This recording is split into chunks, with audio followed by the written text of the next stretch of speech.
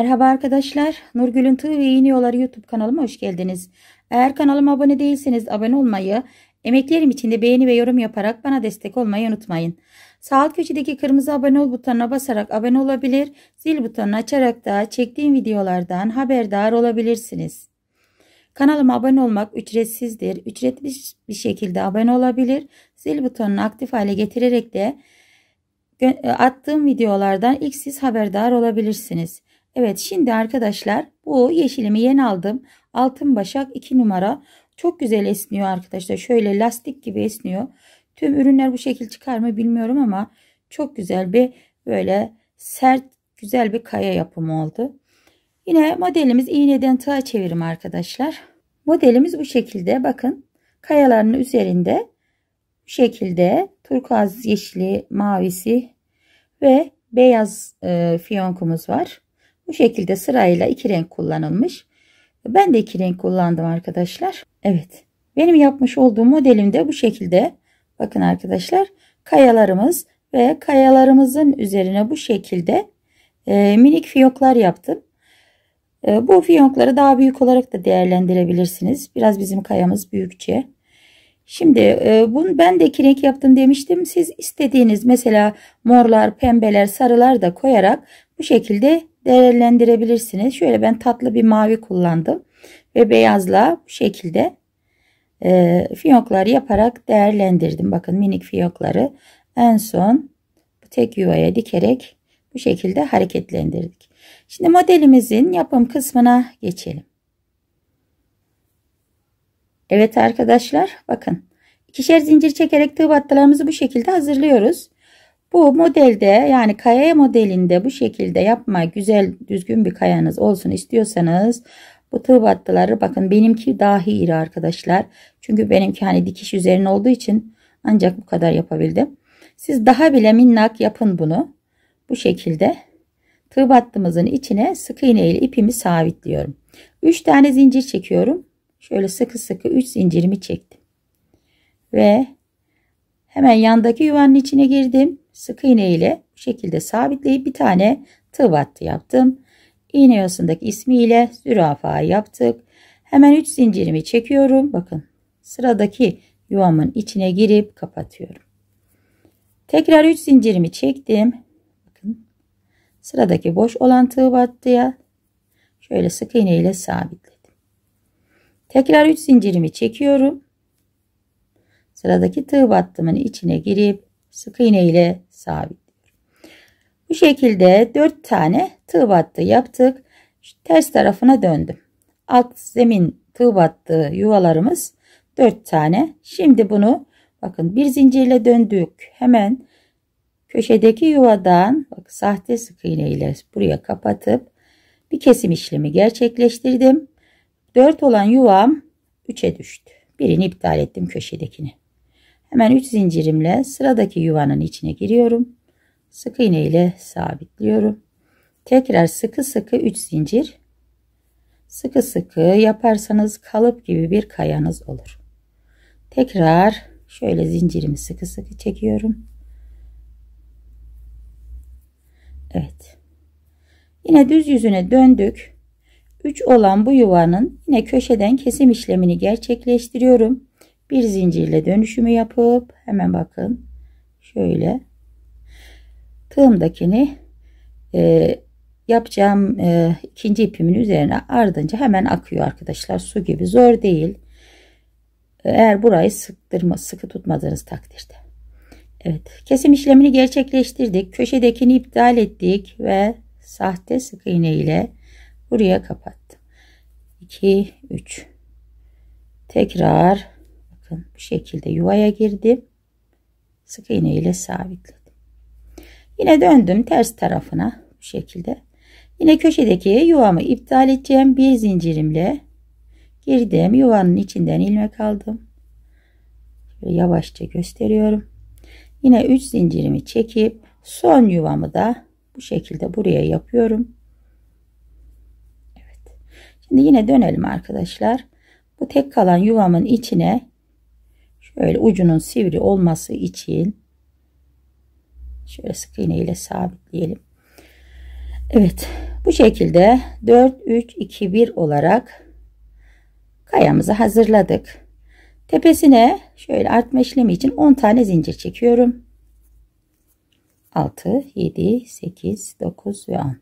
10 zincirimi de gayet sıkı sıkı çektim. Boş olan hemen yanındaki tığ battımın içine giriyorum. Şöyle sık iğne ile sabitliyorum. Bakın arkadaşlar bu şekilde. Bu 10 zincir sayısı değişebilir kayanızın küçüklüğüne büyüklüğüne göre. Onu bir eksik bir fazla ayarlayabilirsiniz. Evet şimdi ilk baştaki işlem gibi tekrar kaya yapımına başlıyorum. 3 zincirimi çektim. Hemen yandaki tığ battıma giriyorum. Sık iğne ile sabitliyorum. 3 zincirimi çektim. Bakın. Hemen yandaki boş olan tığ battıya girdim. 2 3 zincirimi çekiyorum. Yandaki boş olan tığ battının içine girdim. Sık iğne ile sabitledim. Tekrar 3 zincirimi çekiyorum. Bismillah. Bazen tığ ilmeği sürekli atıyor arkadaşlar. Evet. Tabanımız 4 tane.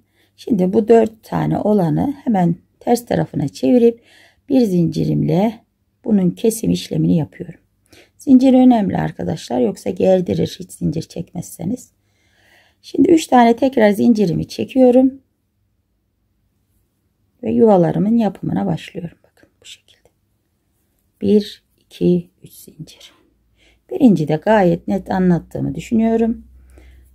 Tekrar aynı şeyleri yapıyoruz.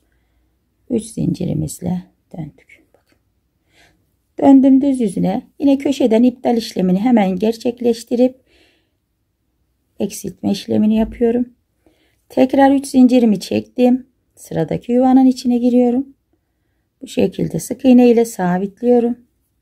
3 zincirimi çektim. Hemen köşedeki yuvamın içine girip sık iğne ile sabitliyorum. Dönüyorum. Bakın ters tarafına döndük.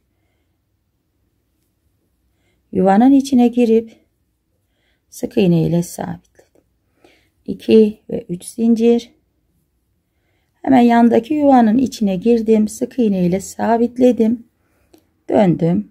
Bakın 4'ten 1 kalana kadar kenardan kese kese bu şekilde 4 taneden bir tane bıraktık.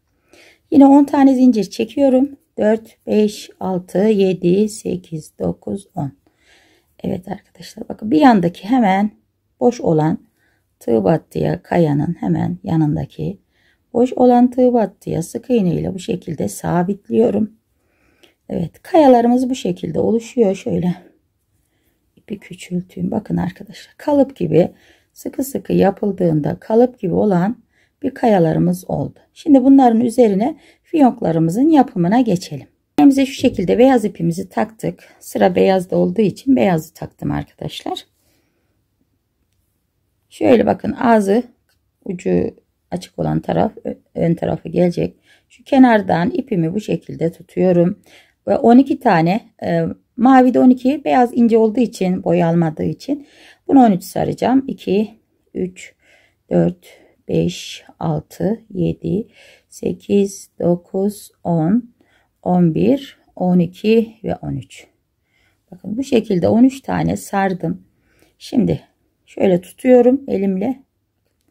Bu şekilde hemen tam ortasından yaklaştırayım arkadaşlar. Bakın iğnemi tam ortasından geçirip şöyle elimle de destek veriyorum bakın ipin altındaki elimle de bu ipin e, sardığım ipi iğnemin şöyle üstünden artarak bu tarafı yatırıyorum. İğnemin ucunda olan ipimi de bakın sağdan alttan geçiriyorum şu şekilde ve buraya sarıyorum. Bakın bu şekilde. İki kere gösterdim inşallah anlaşılmıştır. Şimdi bakın arkadaşlar şöyle tam ortalayıp bu şekilde ipimizi sıktırdık. Şu sararken fazla tutmak için kullandığım ipi de onun aynı boyutuna getirip hemen kesiyorum arkadaşlar. Oraya mümkünse bir tane çakmak deyip bu şekilde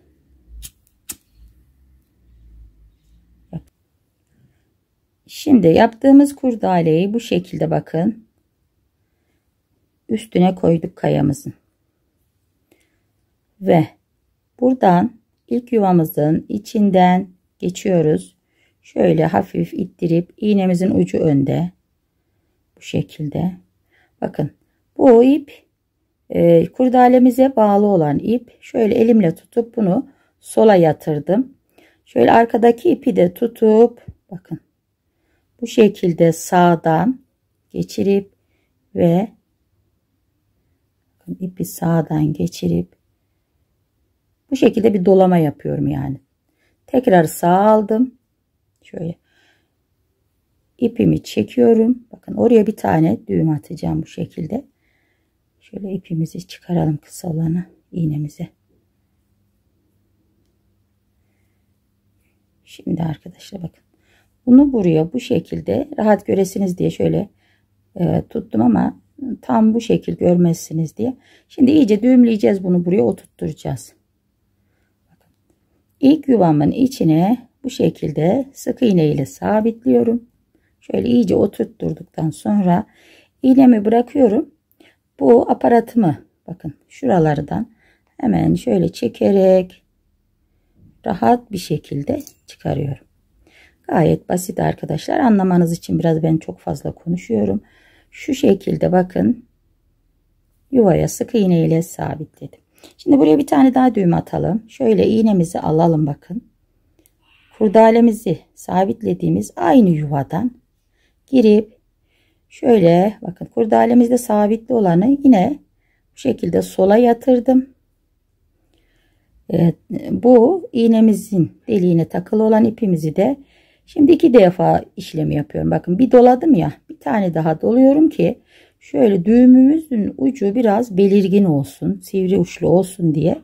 İğnemin başını bakın bu şekilde iki defa doladım. Ve şöyle iyice bir sıktırıp oturtturdum. Bakın bu şekilde oturtturuyorum. Şimdi ipimizi keselim. Gayet güzel ve yapılışı da bir o kadar kolay. Dediğim gibi iki renklerini rengarenkle kullanabilirsiniz. Şimdi bir tane de mavi ile yapalım arkadaşlar. Aynı fiyonkumuzu. Evet arkadaşlar bakın bu şekilde şöyle bakın. Bu ipi kenarına koyuyorum. Tutuyorum yani. Ve bunu 12 defa saracağım. 2, 3, 4, 5, 6, 7, 8, 9, 10, 11 ve 12. Şöyle bir de beyazda farklı bir renkte görün diye bir tane de maviyle yapıyoruz. Aynı şekilde bakın ortasından girip şöyle baş işaret parmağımın üzerine doğru iğnemi uzattım. Ve bu arkadaki işaret parmağımla bakın iğnemi tutuyorum arkadaşlar. Sardığım ipi Şöyle alıp bakın bu tarafta kalmış.